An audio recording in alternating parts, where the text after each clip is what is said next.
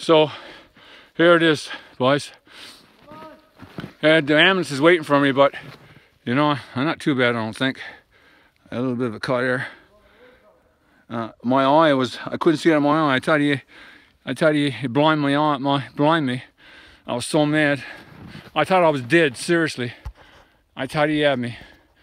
But poor guy, you know, I guess he's only trying, he's only trying to act in self-defense, you know.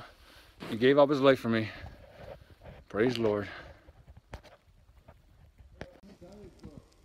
Okay, here's the bison I shot. But before I shot him, he charged me. Poor fella, he's only trying to act in self-defense.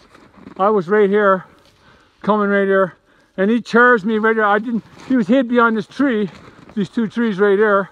I didn't see him, and he came over here and charged me like this, and I didn't know what hit me. His head hit my head.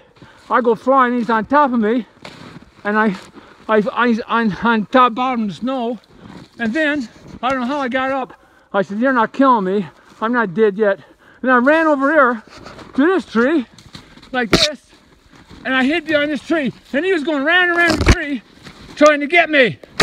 And he didn't get me. And then I went around here like this, around this tree, and I went come right around again. And then he went back over there, and that's where I shot him. And this is my story. So help my God. So help my God. I know.